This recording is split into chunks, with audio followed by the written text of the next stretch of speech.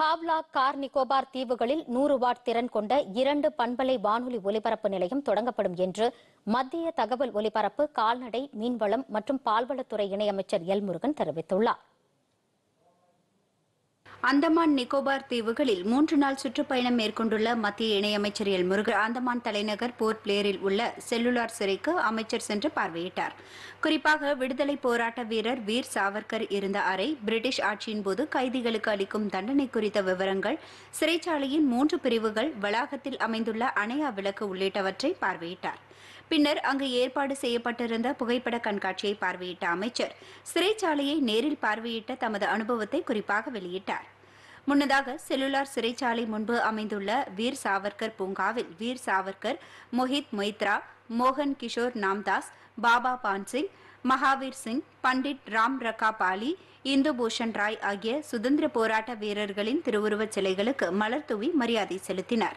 இதைத் தொடர்ந்து பெருந்தலைவர் காமராஜரின் நூற்று இருபதாவது பிறந்த நாளையொட்டி அந்தமானில் அமைந்துள்ள காமராஜரின் சிலைக்கு மாலை அணிவித்து மரியாதை செலுத்தினார். இதைத் தொடர்ந்து போர்ட் பிளேரில் புருஷாவில் உள்ள சமுதாய நலக்கூடத்தில் துப்புரவு பணியாளர்களுடன் இணைந்து அமைச்சர் எல்முருகன் மதிய உணவு உண்டு மகிழ்ந்தார். பின்னர் போர்ட் பிளேரில் செய்தியாளர்களிடம் பேசிய எல் முருகன் சேவை சிறந்த நிர்வாகம் ஏழைகள் நலன் என்ற தாரக மந்திரத்துடன் மத்திய பிஜேபி அரசு கடந்த எட்டு ஆண்டுகளாக சிறப்பாக செயல்படுவதாக தெரிவித்தார். இந்தியாவின் சிறப்பான செயல்பாடுகளை உலகமே வியப்புடன் பார்ப்பதாக கூறிய அமைச்சர் ஹாவ்லா கார் நிக்கோபர் தீவுகளில் நூறு வாட் திறன் கொண்ட இரண்டு பண்பலை வானொலி ஒலிப்பு நிலையங்கள் தொடங்கப்பட உள்ளது என்றார். பிரதமர் திரு நரேந்திர மோடிஜி அவர்கள் இந்த எட்டு ஆண்டுகளில் சிறந்ததொரு ஆட்சியை கொடுத்து கொண்டிருக்கிறார்கள். ஏழை மக்களினுடைய மேம்பாடு நல்ல ஆட்சி சேவை செய்வதை பிரதானமாக கொண்டு இந்த ஆட்சி செய்து கொண்டிருக்கிறார்கள். ஏழை மக்கள் ஏழை எளிய மக்கள் பயன்பெறும் விதமாக நம்முடைய பிரதமர் திரு நரேந்திர மோடிஜி அவர்கள் அனைவருக்கும் வீடு கட்டும் திட்டத்தை நிறைவேற்றிக் கொண்டிருக்கிறார்கள். இங்கே இருக்கிற அத்தனை பேருக்குமே நம்ம இலவசமாக டாய்லெட் கட்டி கொடுத்துருக்குறோம். நம்மளுடைய போர்ட் ஃபிளேயர் மாநகராட்சியினுடைய பணியாளர்களாக இருக்கிறீர்கள். அந்த மாநகராட்சியில் வந்து ஹண்ட்ரட் பர்சன்ட் மேனுவல் ஸ்கேவஞ்சிங் ஒழிக்கப்பட்டதாக நம்மளுடைய இந்த மாநக நகராட்சியானது இயங்கிக் கொண்டிருக்கிறது.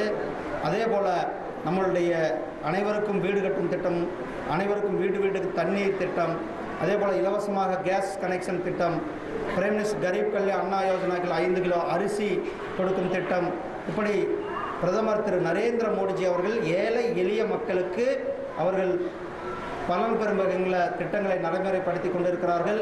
போர்ட் பிளேட் தூர்தர்ஷனில் செய்திப்பிரிவு தொடங்குவது குறித்து பரிசீலிக்கப்படும் என்றும் அவர் கூறினார். முன்னதாக ஜங்லிகாட் துறைமுகம் சென்று பார்வையிட்ட எல் முருகன் ஆழ்கடலில் அதிக மீன்வளம் இருக்கும் இடத்தை கண்டறியும் படகை கொடியசைத்து தொடங்கி வைத்தார்.